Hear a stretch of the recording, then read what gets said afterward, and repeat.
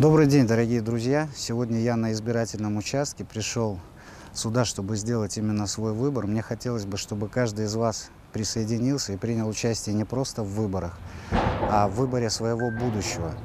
А, Мне не безразлично будущее нашего региона, будущее нашей страны, будущее наших с вами детей. Именно поэтому я здесь. Мне кажется, что а, каждый из нас должен сделать именно свой выбор, потому что иначе мы рискуем жить в будущем, которое выбрали за нас.